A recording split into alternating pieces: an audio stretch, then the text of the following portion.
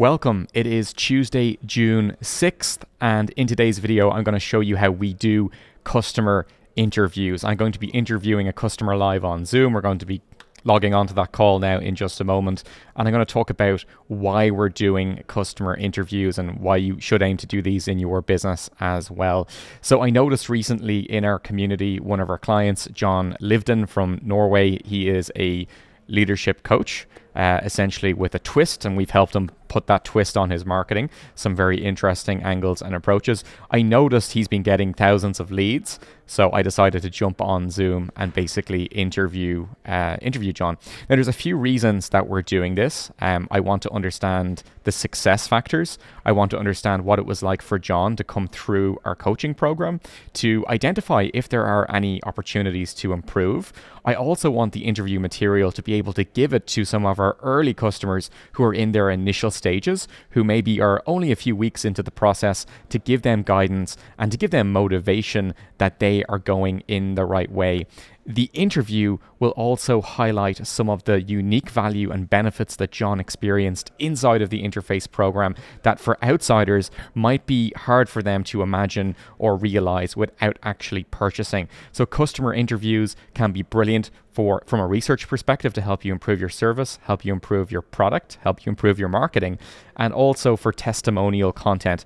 I hope that we're going to be taking some testimonial content out of the interview. Now, we will publish the full interview, um, but I'm hoping to also take some clips from this and use it as customer testimonial um, information that can be shared with our email list, that can be put on our website eventually. And usually, when you offer to interview one of your customer base to learn a little bit more about their business, you're also giving them some exposure. People do like talking about themselves and their own businesses usually. So, reaching out to your happy and successful customers to interview them is a great move. You should also do this with the customers that maybe aren't so happy, where there have been some problems with delivery or maybe with the product, because you can also learn from those experiences and use that to reshape um, your product or platform or whatever it is that you are building.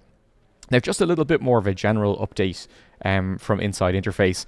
Things have been going very well in the business. If, if you've seen our last episode, we're really busy executing on our six week plan to become scale ready. That plan is going quite well behind the scenes. And I think next week I'm going to give you a look inside that and give you an update as to the progress. And this week I just don't have time to do it. So I decided let's uh, go behind the scenes and look at our customer research and interview process for improving ourselves, improving our company, keeping our customers happier, and collecting awesome testimonial content.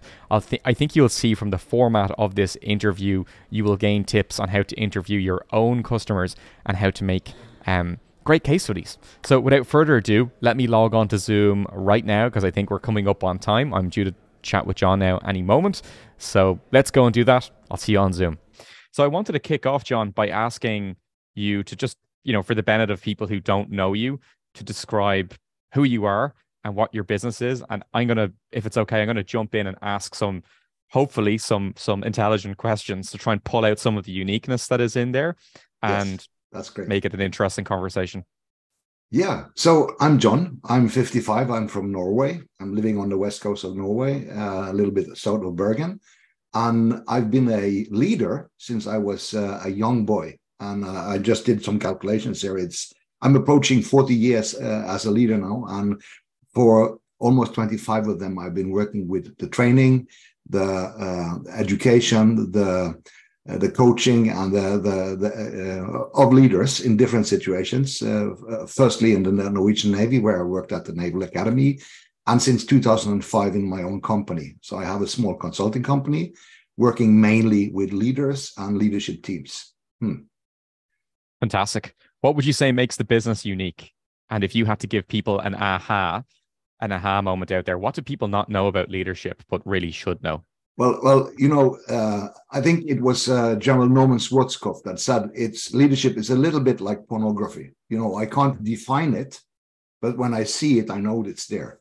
You know i know what it is. And also leadership is a topic that has it's very well there are so many articles and books always introduced every new year there's a new flavor of the the month or of the year.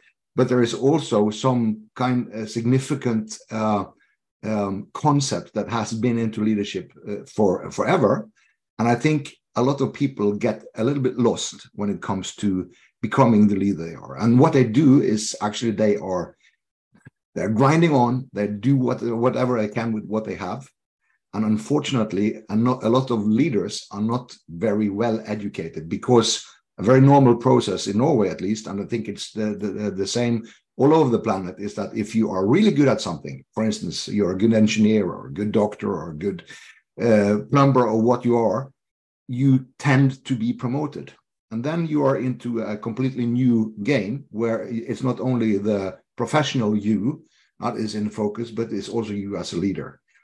And I think what people, uh, where people really miss the mark is that it doesn't help just to grind on. And people find themselves in this hamster wheel of tasks and priorities and deadlines and working very hard. And we can see that uh, that a lot of managers and leaders on all levels in organization tend to be really exhausted to a point where it actually uh, it takes its toll when it comes to being present where you are, uh, being present together with the people around you, uh, your colleagues, your your your subordinates, but also people, important people in your life. Mm. So, so, a lot of leaders not an easy really gig. stressed out. Yes. So, what's your market? And I know that we did some of this work uh, at Interface to help pull out what is unique, because often when we talk about, you know, when we talk to a business and we ask them, well, what are the things that are unique about you, or what are the things that help you stand out in your market? Usually it's a long list of things. And it's kind of an exercise to go through that list of things and try to figure out, sort the wheat from the chaff and say, well, what is unique and what's not? What it what could be what could be said by your competitors realistically? And if it could be said by your competitors, if it could be said by someone else, it's probably not worth saying. So, what is the unique angle here, and what is the absolute one thing that makes you stand the, out? I think the unique angle of the way we are working in my company is that for us, leadership is a very practical thing, and it's a very personal thing. So, it's very much about the person, the leader, him, him or herself, and I think a lot of the, the, our competitors are focusing more on generic leadership skills and this model and that model, but we are honing very much into the internal life of the leader because it's about them, their behavior, their uh, feelings, their attitudes, their, their their way of expressing themselves and working together with people. And also, I think what's unique about the way we are uh, working is that we we really get close because we have we have an online program and we, we take four uh, classes of leaders, small classes, uh, maximum 12 people in each class, through a six months pro, uh, process where we actually we meet weekly in uh, different forms and they are actually training and practicing their leadership behavior in their own context with their own people and their own tasks and and the, the i think some of the unique ability here is that we create in these groups a very, very uh, um, uh, fertile ground for development and a very high level of psychological safety. Uh, and and uh, being together with uh, leaders from different companies, you are not attached to them in the same way as your colleagues. I think that's the really the X factor of what we're doing. Fantastic. You have a you have a great product, a great program with clients that get fantastic results one of the main challenges that businesses face is they are experts at what they do. They have fantastic products and services, but sometimes getting the outside world to see that and to you know to stop and take notice and give that company five minutes to really understand what they do that can be difficult that's that, that, can be that can be really difficult and i think for us up until the pandemic struck uh, we run a, ran a local program in the, in the, the city of Bergen. We had uh, people from the local community coming to our courses and our programs. And the challenge, of course, when everything shut down, we had to reinvent ourselves and go all digital. So, so uh, marketing is a big challenge, and sales is another big challenge because you need to be able to get uh, in front of the right people. You need to be able to connect with them in a in an intelligent way and you need to be able to convert them from from prospects to customers. And of course, uh, doing a little bit of the math, you know, we went all into webinar webinar funnel marketing in, in the in the autumn of um, of 2020, uh, and um, I think since then we spent uh, more than 60,000 US dollars on Facebook ads. And, and, uh, and what we can see over the, the, the, the period, and we were talking about the cost per lead uh, uh in average over that period, around 11 US dollars per email address.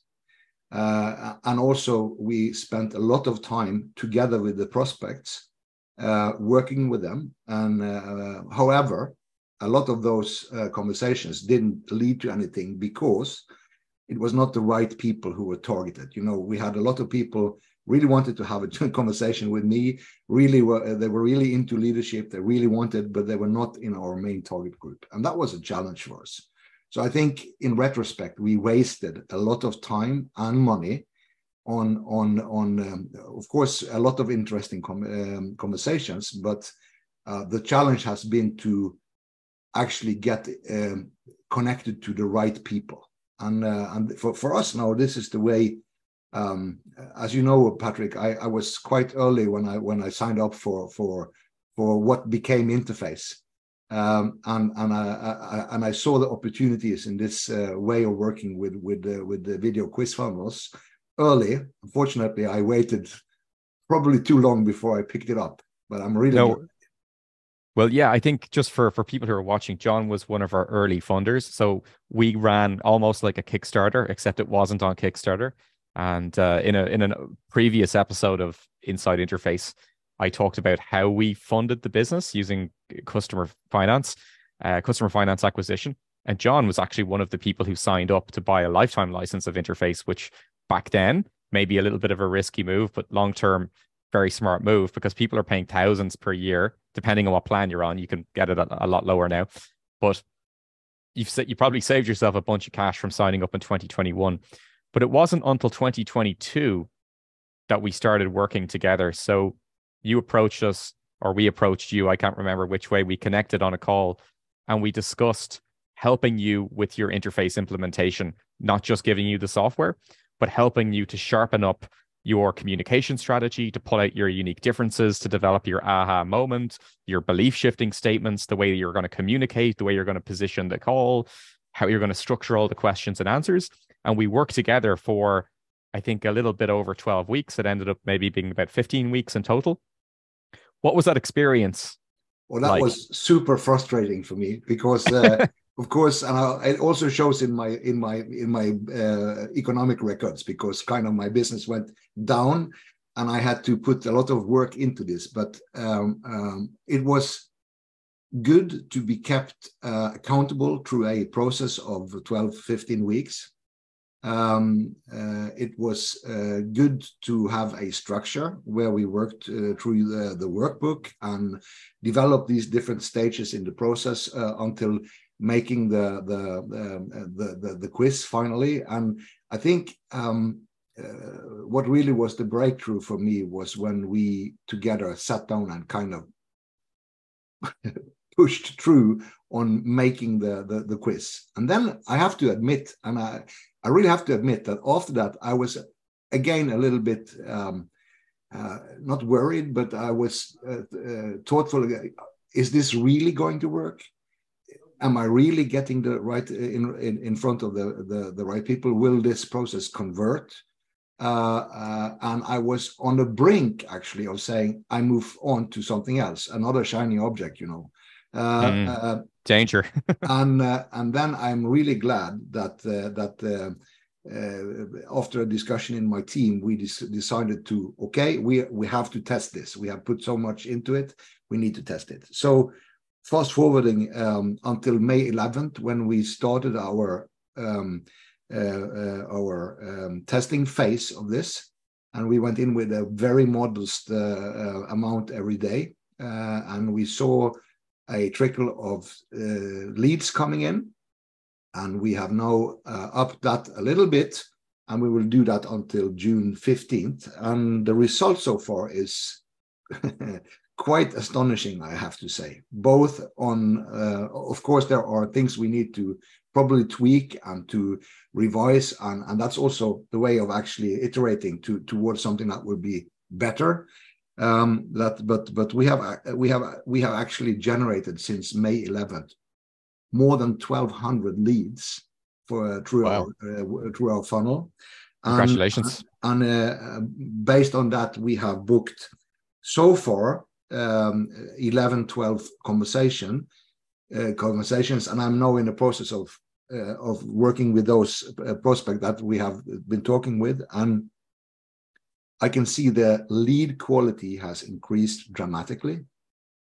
We can talk a little bit more about how we did it in the quiz and things like this, but but uh, but uh, and also I can see that that uh, people are uh, entering the conversations with a, a, much clearer mindset of what is this going to be about, and yeah, I'm quite uh, optimistic now because we are generating leads at one tenth of our average lead uh, generation cost.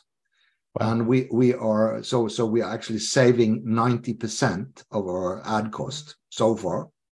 Um, sorry, I just have to to um, uh, okay. Um, we we are saving uh, almost 90% of our, our of our uh, lead cost, which means that those 90% can be spent or invested in other projects or other way uh, way of working with our with our uh, material and and doing that. So it also frees up uh, quite a lot of liquidity for me. Yeah.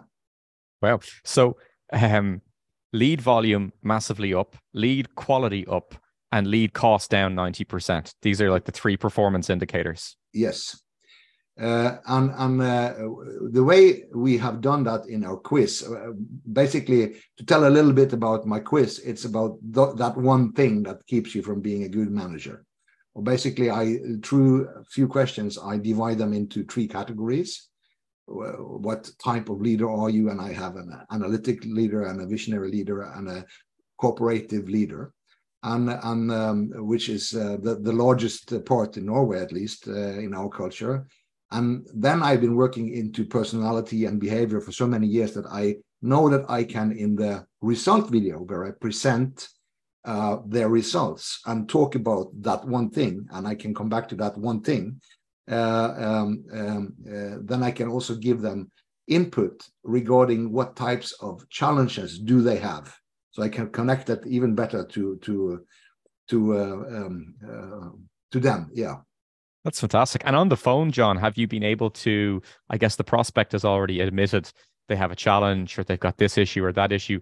Are you using interface data on these calls that you're having with people so that you can say i see that you said this or i see that you said that well so far i haven't been doing that. I, I, we do we we use we do use a lot of automation so they kind of get into my crm system our crm system. I know i have the data and i could draw on that but uh, i haven't done that yet. That was actually a good uh, a really good idea so perhaps i have to go back and and iterate a little bit there.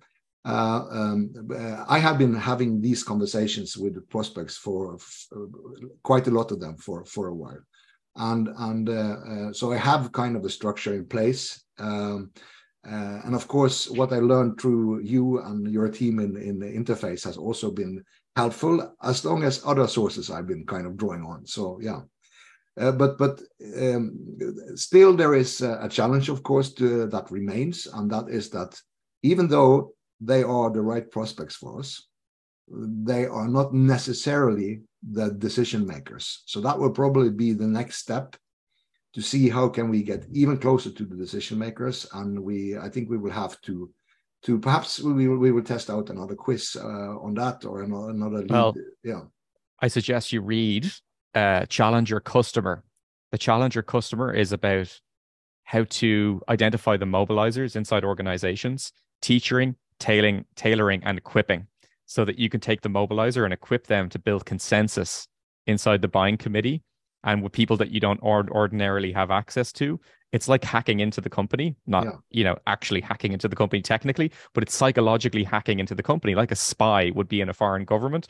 You have your spy working in this company and they're building consensus for you. That's a that's a hell of a book on how uh, to yeah, do that i can see that also. We have you know we have had over the years now the, uh, we are now starting class number 21 in august.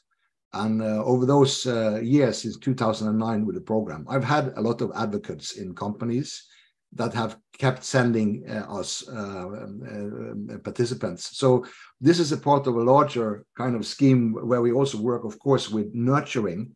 And I think that's also a very important uh, thing to talk about because I think when you, you know, some um, entrepreneurs can come a little bit out of desperation. I really need those leads and I need I really need them to buy from me now.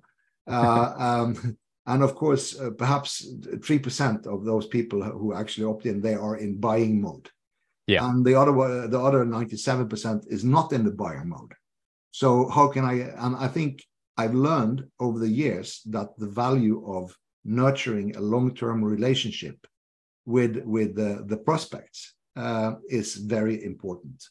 And it is I very can, important. Yeah. So, so, and yeah. the way we have done it is, uh, and I, I, you know, I have been, been been been mad at myself many times that why didn't I start list building earlier? I even had mm. a list building mechanism in place in 2005, but I didn't kind of start working strategically with it until um, um, yeah um, 2019 2020 and i can see now that our weekly newsletter that goes out and the other activities that we do that actually provides a lot of value for our customers and our prospective customers has uh, has helped. People know who we are. Yeah. That's a, that's really interesting, John. I think a lot of people are in the same boat as you, uh, and I'm in that boat as well. Like I, I, I wish I started list building, you know, years ago. I knew about it, but of course, I've had some different businesses operating in different markets, so it's kind of been hard to take that list with me. Um, but uh, something that I wanted to add there about nurturing that I think it's important to say for for you and for the others that might be listening is when we go about nurturing and we should nurture 80% of the revenue potential comes 90 days into the relationship. That's not like on day 90 everyone suddenly converts. That means like some point after day 90 that could be like 4 years into the future. Who knows? When we look back on our, our facebook ad ROI let's say for interface the ad dollars that we spent last year a lot of that's converting this year so sometimes when we have like very short um, time horizons and we expect short term results, like some of the early stage entrepreneurs, John, that you were talking about, it can kind of get you into trouble of making very short term decisions and thinking very tactically and kind of chasing your tail a little bit. So, yeah, long term thinking. When it comes to nurture, though, one of the key mistakes people make is feeding the content monster. Okay, so they they they're like, okay, well, if I'm going to nurture, I need to produce content. So that's like a given and that content cannot be i can't keep sending the same video over and over again or people are going to think i'm crazy. Um so what they do is they make different videos on different topics. Broadly that is okay. But what what ends up being missing from a lot of the nurture content is that the content is not thematically linked and it doesn't lead prospects down a path an ever increasing path of thinking differently about their problem and realizing that they need to change their ways. Yeah and move in a new direction. So this kind of comes back to the idea, John, of the aha that we helped you create inside the 12 week program. And I think the 30 second version of your aha was, uh, well, can we well, remember? The, the three second one, the second one is actually yeah. leadership is an inside job. And if you're not willing or able to do the inside job, you will stay in the hamster wheel forever so so that's that's and also being in that uh, state uh, where you are so busy and you are so cramped and so crammed uh, is there is there is no uh, development there. And then it's of course the, the the when you come out on the other if you're taking the other pill if you're taking uh, you know the red and the blue pill we discussed that you you come out with more purpose you come out with with uh, with less work because you are mainly working now or more working now through your people as a leader and you are focusing on the most uh, on the broad uh, on the on the bigger picture on this and it frees up a lot of time uh, for them to actually lead because a lot of leaders are not leading. They are kind of administrating or doing the job themselves. So so um, i think that's a, a part of my aha at least. That's that's the, the the core insight. So then I think look, the best way for you to nurture these people is over a long time horizon. Um, and when you're producing slightly different pieces of content on different topics, what's really missing in a lot of cases is contextualization of why that matters towards the aha or how that matters towards the insight. So every time you teach something, it, it, it might appear random at first, but in every video and every email, what's missing for most businesses is they don't contextualize it within the insight. So you need to be really saying at the end of every email, at the end of every video, why am I teaching this today? Even though this is, seems like a kind of a a random topic or a topic that's over here. I'm teaching this, guys, because leadership is an inside job. And keep reminding them of leadership as an inside job. They're just going to hear it again and again and again and again and again. This is the steel thread that kind of goes through your entire content marketing strategy. So you're teaching them different things, but because you're connecting it back to the insight continually, unrelentlessly, yeah. it's continually causing them to question the current way of of doing things. Definitely, really, definitely. Yeah. Uh, and also, what what we have done uh, in my team the last months, uh, we have been producing interviews with uh, with. Um, that's that's uh, we're talking about the content monster. You know, our product, our service, it's a leadership program and I can tell people a lot of how how good it is, but it's much stronger evidence when uh, our participants share their learnings, their insights, and so so what we do, we produce one to two articles every month uh, that goes out. But but it also uh, we also have integrated of course the we, we did a restructuring of, of our website a small one. We put uh, the, the the quiz more front and center um, um, uh, and and we also uh, we also did a, a, few other tweaks that actually brings people more specifically into the funnel we want them to go into and and uh, and also we have um, when it comes to nurturing leads of course i think uh, when you have the interest of a person i've taken this quiz i get my results uh, and i'm now interested in this topic. So we we we we very quickly uh, even the same day, we give them uh, the first email, and and and then over the next uh, three days, so that's day zero and one and two and three, we have made tailor-made content with short emails and uh, and based on the formula of, of, short personal and expecting a reply uh, the SPEAR uh, concept you thought was about and and um, so so there is a nurture sequence taking place. And we also want to, we, because I think when you have a business running and there is a lot of moving parts, it's, I think you fall down to your structure. So I think it's helpful if you have the possibility to, to automate some of this. For instance, reminding yourself that at least four times a year, I would send out the nine word email to my prospect list uh, um, that could be automated based on the uh, on the point because this is a kind of a standard email. Yeah. But, yeah. and it works, so it could be automated based on the point when where they actually signed up for this in the first place. And then I don't have to go and think about it. I know it's it's it's a system that's working for me. Yeah. So you're building in those automations, you're starting to create a more elaborate nurturing strategy, and you're keeping the inside in mind contextualizing all of your content within the insight. So it sounds like you're you're already doing a fantastic job of that. I want to just, if I can, for a second, jump back to something that you said earlier because I think it's interesting, and I think that a lot of entrepreneurs find themselves in this situation, myself included, where we take on big projects.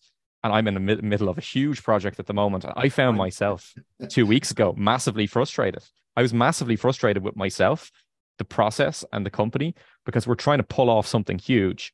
And I just wasn't feeling good in myself because it's like sometimes when you have these different ideas and concepts, and sometimes the glue that binds them together, where it all makes sense in your head, sometimes that's there. And then other days it's not because we're all human at the end of the day. Sometimes we come back after a long weekend and it's like, oh, you know, what was clear last week isn't so clear anymore. I'll talk more about that in a in a subsequent video.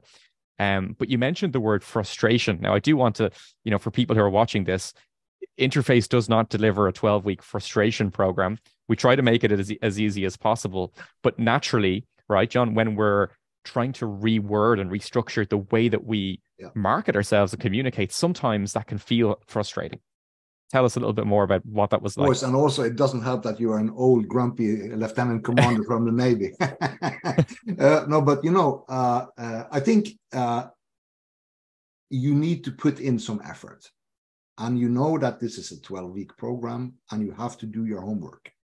And for many of us, that also involves that you have to put some of the other things you are doing a little bit on the back burner in order to that to to make that happen. So so there is a tension there, and I think also there is a creative tension because you, as you said, you have to rethink and reconceptualize and and reframe some of the things you have been doing for a while, and then you have to see it in a new context.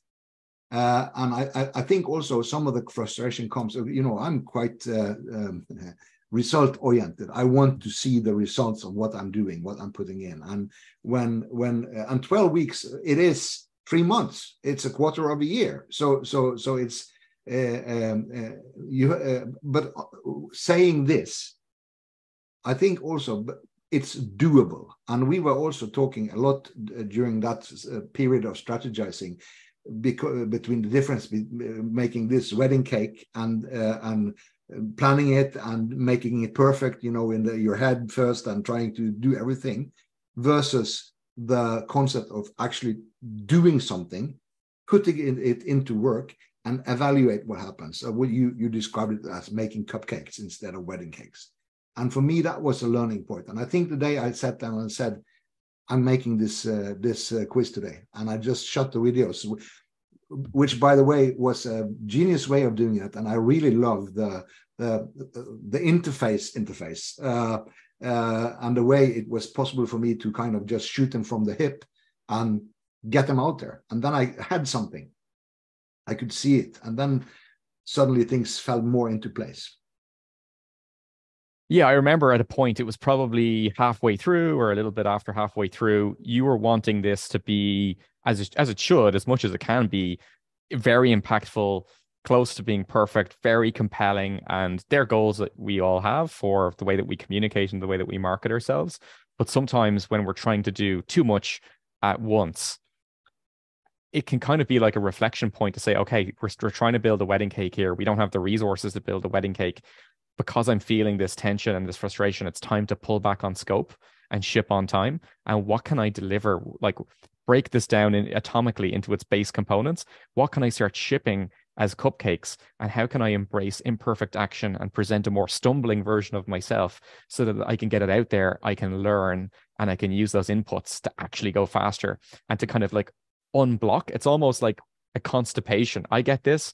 Every entrepreneur gets this. We're trying to, we're working on this big release, this big launch, and it just becomes like a boiler, a boiler room, like yeah. too much pressure, and it drives us crazy but you know we have been there both of us many times in our career as as entrepreneurs and i think it this is a part of uh, of life as an entrepreneur the roller coaster part where you have these you know these highs and these lows and uh, and and you're putting in a lot of effort uh, and then it even you know it's not always it pays off you know uh, yeah. and then you you learn something. But i think based on my my now 18 years uh, on my own as an entrepreneur it has been a learning process like crazy. And and uh, i'm not at the same place. I have really had a lot of help uh, reading um, books by dan sullivan and, and benjamin hardy um, uh, i'm now reading uh, the, the, the 10x is uh, is easier than 2x but there are another book i really want to mention there and that is from the same authors and that is the gap and the gain. Uh, uh, and also uh, another one that is called uh, who, not how, because we are Mr. Fix-Its or Mrs. Fix-Its, and we are doers, a lot of entrepreneurs. And I think also the ability to use, even if you just only have one virtual assistant a few hours a week that can take some of the load off you and create that room. So that's who, not how. And the other one is that the, the gap and the gain, to be able to actually stop and look over your shoulder and actually reflect what have I actually done? What have I learned? What have I achieved so far? Because that that goal far ahead there, you know, world dominance or what you have as your your your goal, it that's like in horizon. It's always you can be moving towards it, but there will always be a gap between where we are and where we want to go. And I think we oh. have to learn to live with it. There's some fantastic book recommendations for people listening, for myself as well. I haven't read all of those. I have read the um, "Be Yourself, Be, Be Your Future Self Now." Yes, and that was yes. I we we talked about that before, and that's that, yeah. But the uh, the 10x is easier than 2x. That is actually one that I want to read because I'm yeah. I'm hearing that again and again as, that, a, as a recommendation. That's also they have been fantastic good at marketing at that moment. But I think the core of that book is I'm not finished with it, but I think it, it comes down to this finding the 20% that you are and your unique ability.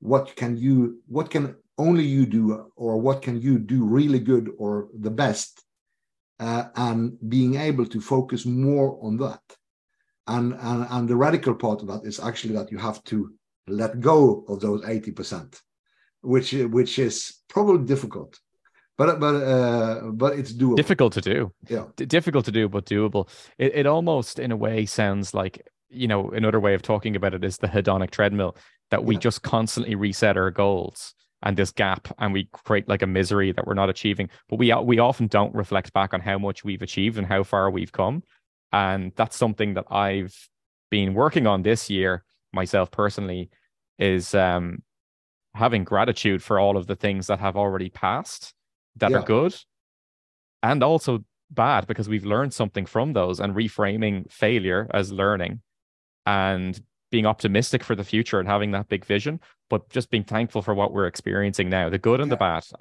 And, and you know, uh, we also the only place I can be right here now is right here now. And if I if my mind is always, you know, uh, a uh, hundred miles ahead of me, uh, or always stuck in some failures or some misery in the in the, uh, you know, it's it's on the it's outside of my uh, I can't actually um, um, uh, I can't do anything about uh, either of those things here and now. But I can work towards kind of embracing the the the the the, the, the past and the learnings and the blessings and what's what's in there.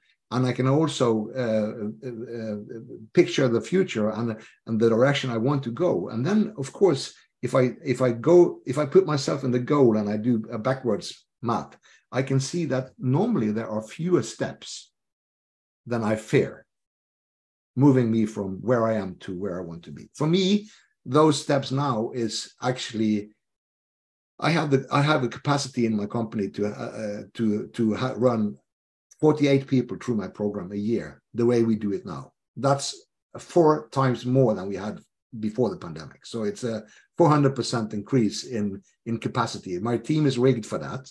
I'm so happy for that. Um, uh, and also, I know if I do a few other things, I have, I don't, I can sleep really well at the night, and I have what I need, and I still have the capacity to develop further.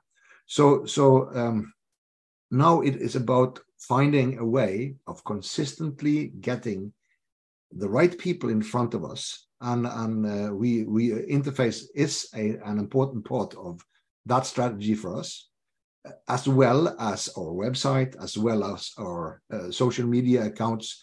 And we are, but we are balancing it when it comes to producing uh, content. I do it, you know, we are producing content right now. Um, uh, and of course, this is a very, for me, this is a very easy way of producing content.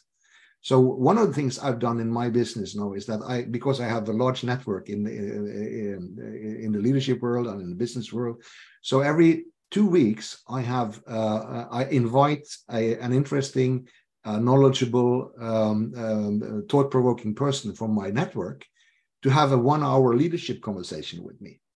So, so, uh, and I started this January, uh, and and this spring I've had.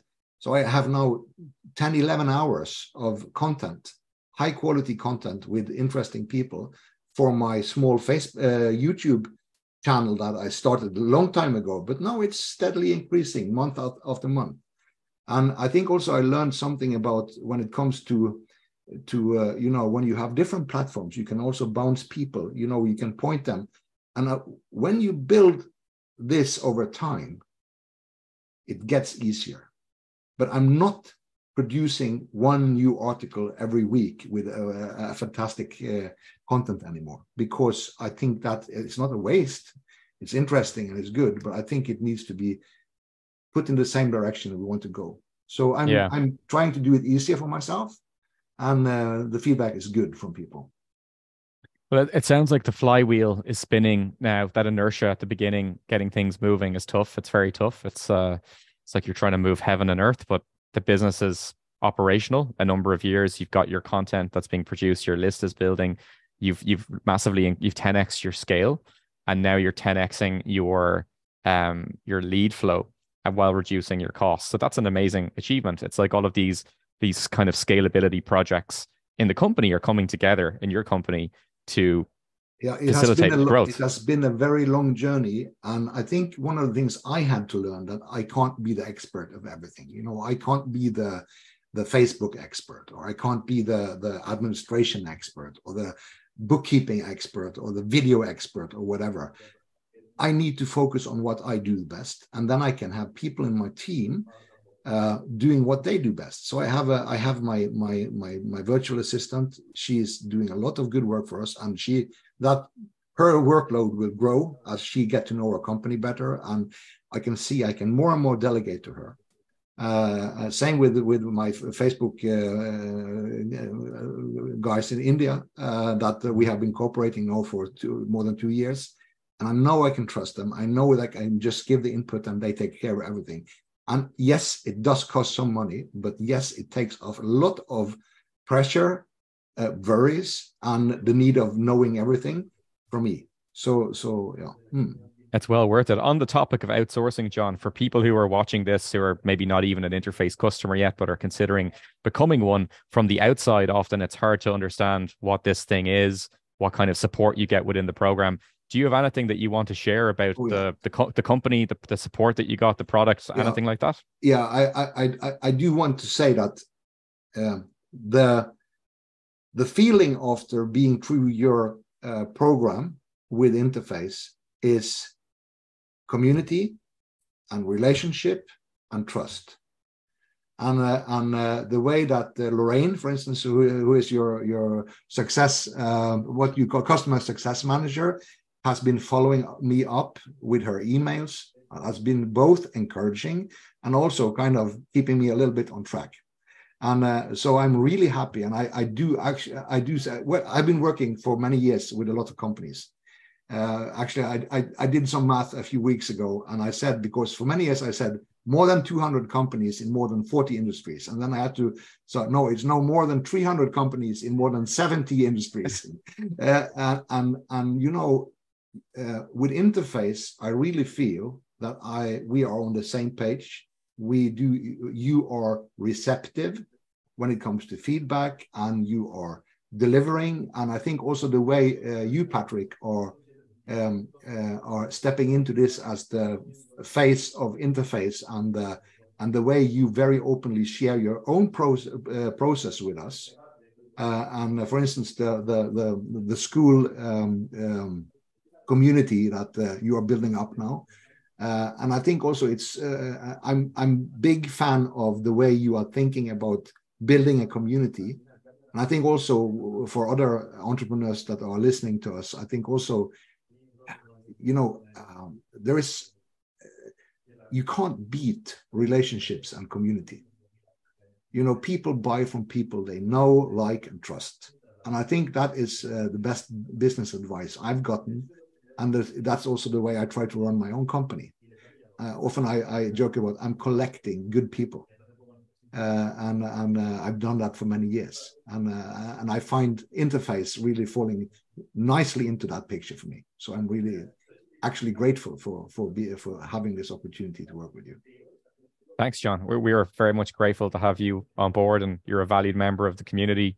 We're really excited to see where this goes and how many more thousand leads you're going to get over the over the next the, the coming months and indeed the year and um, we've got a lot planned for interface you, as you know there's a lot of updates coming in the, in the coming months and i hope to see you use everything to yeah i, I, I will grow even more i will do that patrick and i and, and you know there is also some uh, peace of mind element for me here because mm-hmm. uh, if i know that i have a process that works for instance uh, um, my interface flow.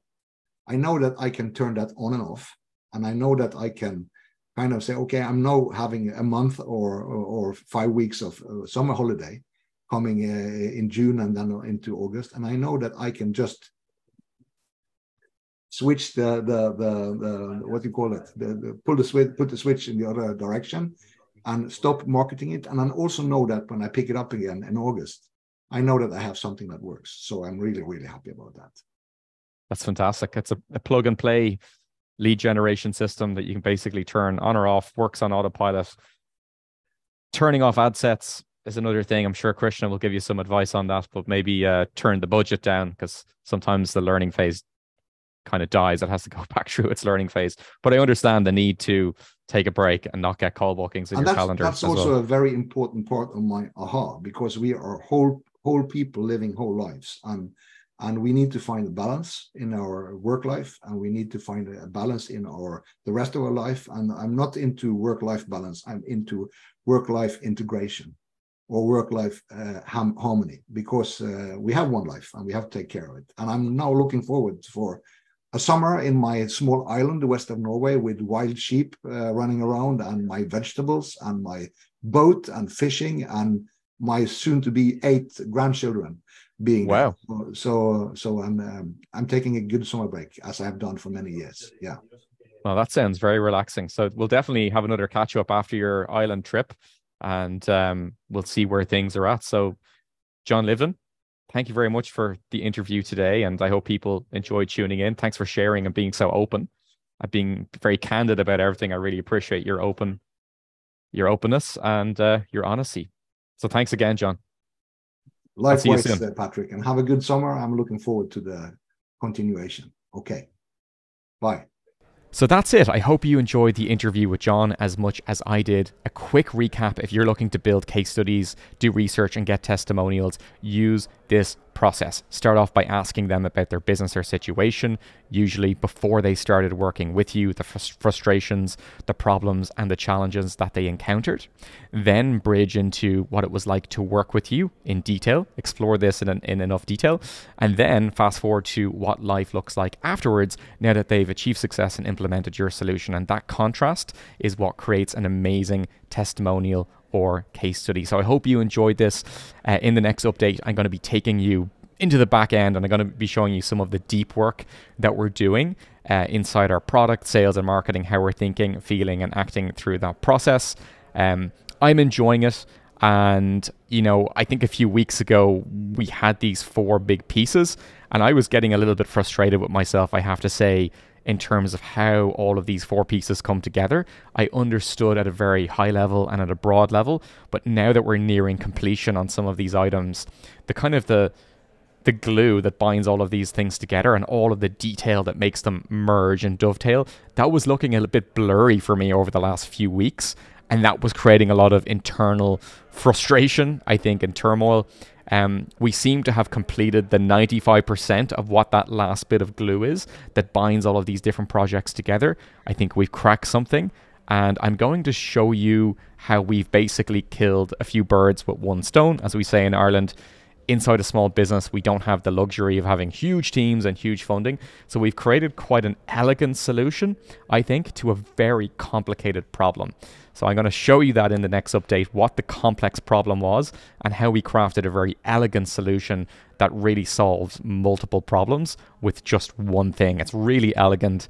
Um, so I look forward to sharing that. I won't share any more today, but I'll see you inside the next update.